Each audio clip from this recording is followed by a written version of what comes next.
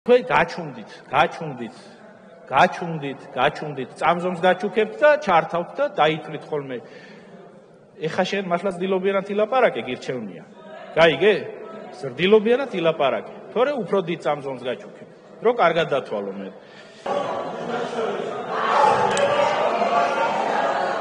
სიტყვიერი დაპირისპირება პარლამენტში საკანონმდებლო ორგანოში რატი ბრეგაძის მოსმენა ხმაურის ფონზე წარიმართა. პლენარულ სხდომაზე ვითარება რამდენჯერმე დაიძაბა. იუსტიციის ministris მიერ მიხელ სააკაშვილის საქმეზე სტრასბურგის სასამართლოს გადაწყვეტილების შეფასებას სხდომათა დარბაზში ხმაური მოხვა. ministrs ოპოზიციონერმა პოლიტიკოსმა თინა ბოკუჩავამ სიტყვა გააწყვეტინა და მიმართა რომ ის ტყუილს ამბობდა. ამ ფაქტს ქართული ოცნების დეპუტატი ლევან მგალობლიშვილი გამოეხმაურა და ოპოზიციონერ კოლეგას თინა ბოკუჩავას შეურაცხყოფა მიაყენა.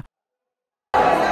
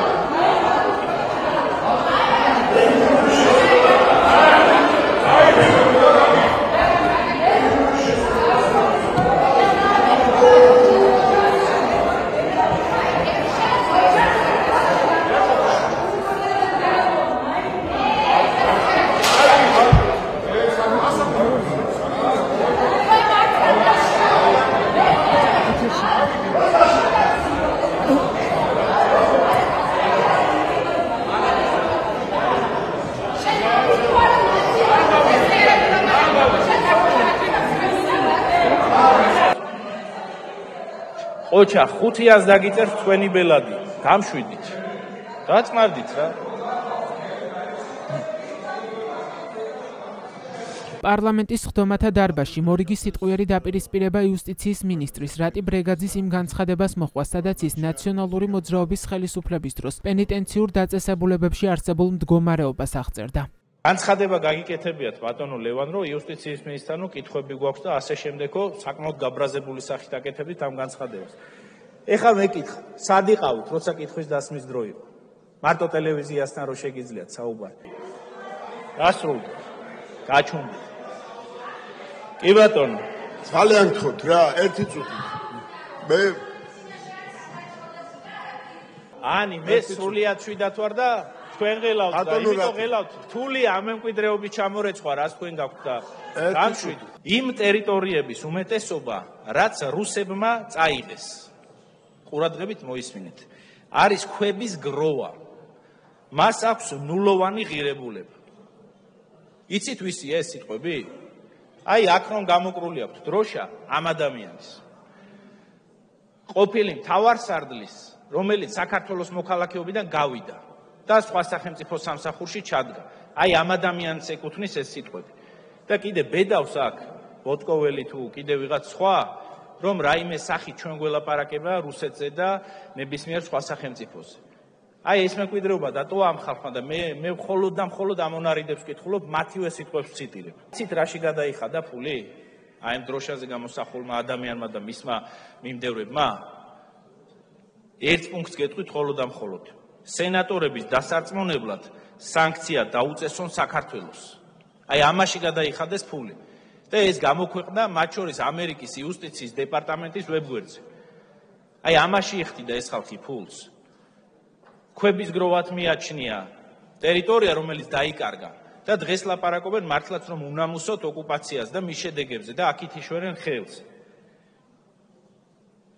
აი ამ ხალხთან გვაქვს საქმე საბოლოო ჯამში. და თუ ესენი მოქმედებენ სახელმწიფოს ინტერესების შესაბამისად, მაშინ არ ვიცი, ყველაფერზე საუბარი ზედმეტია საერთოდ. როდის გადაიყვანენ საქართველოს მესამე პრეზიდენტს მიხელ სააკაშვილს კლინიკა ვივამედიდან პენიტენციურ დაწესებულებაში. სახელმწიფო პარტიის დეპუტატების უმრავლესობა სწორედ ამ კითხვაზე პასუხები აინტერესებდათ მინისტრისგან. პრეგაძე მოცნების დეპუტატების ამ კითხვების საპასუხოდ თქვა, რომ სააკაშვილთან დაკავშირებით სამინისტრო გადაწყვეტილებას სამედიცინო პერსონალის რეკომენდაციის შესაბამისად მიიღებს. კახექსია და დაამარცხა იმ კაცმა, დემენცია დაამარცხა ეფკოდები ანუ ფსიქიკურ აშლობათა მთელი სპექტრი დაამარცხა ესე გასტროენტეროლოგიური დაავადება თუ რამე არსებობს თელმა საქართველოს მისწავლა ამ კაცის მაგალითზე.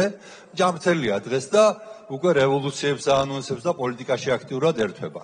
ხა ექიმების მოლოდინი ყველამ კარგად ვიცით ექიმები რა სიტყვიან, იმიტომ რომ ეს ცოტა გადაბრალება, იმიტომ რომ კარგად ვიცით რომ პოლიტიკური გადაწყვეტილება არის მისაღები და მივიღოთ პოლიტიკური გადაწყვეტილება და დავაბრუნოთ ეს ადამიანი იქ, სადაც უნდა იყოს. რუსთავის მე-12 დაწესებულებაში. იქ არის მისი ადგილი.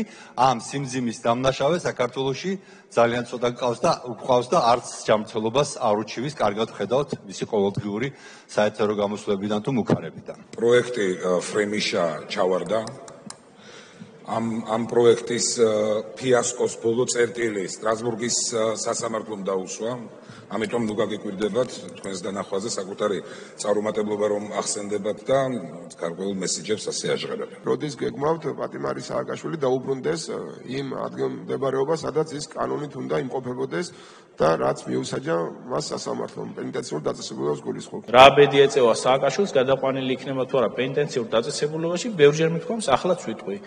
როდესაც იქნება ექიმების რეკომენდაცია, რა თქმა უნდა იქნება გადაყვანილი პენიტენციურ დაწესებულებაში, იმიტომ რომ საქართველოსი მსჯავრდებული პატიმარი საჯელ სიხდის პენიტენციურ დაწესებულებაში. ოპოზიციონერი დეპუტატების ნაწილი მიხელ სააკაშვილის გათავისუფლებას ითხოვდა, ნაწილი კი მასთან ვიზიტების აღდგენას. ოპოზიციონერ პოლიტიკოსებს სამომავლო დეესკალაციისთვის სააკაშვილის გათავისუფლება აუცილებლობად მიაჩნიათ. მინისტრმა კი თქვა, რომ მიხელ სააკაშვილის პატიმრობიდან გათავისუფლების საკითხი არ განიხილება. ერთეულებს გავაგებინებთ როგორმე რომ ქართული სახელმწიფოებრიობისთვის, შერიგებისთვის, სამომავლო დეესკალაციისთვის აუცილებლად საჭიროა პრეზიდენტ სააკაშვილის გათავისუფლება. იქნება შესაძლებელი რომ ერთი პატიმარისათვის რომელსაც პოლიტიკური პაემანი უწოდა ჩვენმა თავმჯდომარემ მასთან ვიზიტს ხანმოკლე და თუნდაც ფასიან ვიზიტებს აღადგენთ. მხედველში მყავს პატიმარი პრეზიდენტი. არაფერი საერთო არ აქვს. საქართველოს ევროკავშირში ინტეგრაციას მსჯავრდებულ სააკაშვილთან. და ეს საკითხი არ განიხილება მიხელ სააკაშვილის საკითხის გარდა ოპოზიციონერი დეპუტატების ინტერესის საგანს წარმოადგენდა თუ რასაკეთებს იუსტიციის სამინისტრო იმისთვის რომ მოახლოებული არჩევნებისთვის ძველი პირადობების მქონე მოქალაქეების რაოდენობა შემცირდეს. 2022 წელს რუსეთის მოქალაქეებმა საქართველოში იყიდეს 6062 ბინა ან უძრავ ქონებაზეა საუბარი ხოლო 2023 წლის პირველ კვარტალში რუსეთის მოქალაქეება საქართველოში იყიდეს 2187 ბინა. ანუ ეს ინვესტიცია მათ მიერ ჩადებული. მიგაჩნიათ თუ არა რომ მაგალითად დროებით თუნდაც 2024 წლის 21 დეკემბრამდე უნდა დაწესდეს მორატორიუმი რუსეთის მოქალაქეთა მიმართ საქართველოში არსებული უძრავი ქონების შესყიდვაზე, იმიტომ რომ ეს არის ნამდვილად უსაფრთხოების საკითხი. არის თუ არა სტატისტიკა, რამდენ მოქალაქეს არა აქვს ჩვენს ქვეყანაში ახალი პირადობის მოწმობა და სარგებლობს ძველი პირადობის მოწმობით, გაქვთ თუ არა ასევე სტატისტიკა რა არის ამის საფუძველი, რას აპირებს სამინისტრო, რატომ არ ვერ უზრუნველყო სახელმწიფომ რომ ყველა მოქალაქეს კონდეს ჩვეულებრივი თანამედროვე პირადობის მოწმობა. რაიმე მექანიზმი არა გაქვთ. ან განათლების კუთხით, ან ბროშურებს ვერ დაარიგებთ. თუ მართლა 300.000-ია საოცარია, ამდენი ბნელი მოხალხე შეუძლებელია რომ იყოს საქართველოში, რომ ჩიპებში ეგონოს ეშმაკები, ჭინკები და ურჩხულები. ვერა უხსნით რომ ამ ჩიპში არ ცხედან ურჩხულები? ან ეკლესია რასაკეთებს? ეკლესიას გონია რომ ეს ხალხი არის თავისი მრევლი. იუსტიციის მინისტრის თანამ დეპუტატების შეკითხვებს უპასუხებდა თითქმის 1 საათის განმავლობაში მინისტრის საათის ფორმატში სამინისტროს მიღწევებსა და წარმატებაზე საუბრობდა.